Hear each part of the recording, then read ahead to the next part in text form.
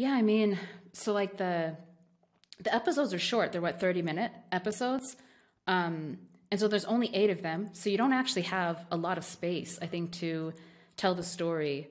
And I, I had talked to a couple of people who found who were really frustrated with how incomplete the storylines are, or even like the structure of storytelling. Um, where so I was working recently with a Navajo videographer, um, a woman who is a documentarian, right? And so she works in the industry, in the media industry, and she gets told constantly that the way that she constructs narratives in the documentaries, she, she does documentaries exclusively about indigenous topics, and she you know she has indigenous interlocutors kind of narrating um, the things that she shoots but she gets told constantly by non-native executives that she's trying to pitch projects to that um, she doesn't follow a conventional storyline or that her stories don't make sense. I'm doing scare quotes right now. you can't see me unless you're watching the video.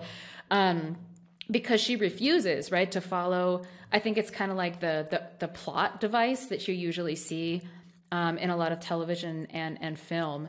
And so the reservation dogs is very similar. It's very unsatisfying if you're looking for like conclusive storylines or conclusive even politics about identity or anything like that. You're not going to find it in this show. Each of the episodes almost serves as like a a separate vignette about about life to try to give you a really full, complex and rich picture of what life is like in this community for lots of different people. Um, all of these different characters. And as Elena says, it's almost like by the end of the first season, you get this sense of how they relate to one another, but you don't really get a strong sense of their identities or even their characters in a lot of ways. There's a lot of ambivalence, like Bear. Um, so Bear is one of the four teenagers. I would say he's the protagonist in the group. I, I would say the story kind of he's the front runner for the group of four, and so he really anchors a lot of the show. But Bear's an interesting character because he's a very angsty, very indecisive young man, young indigenous man. I find him very frustrating as a character because as a main character, you want him to be strong and you know to have like a really definitive sense of self.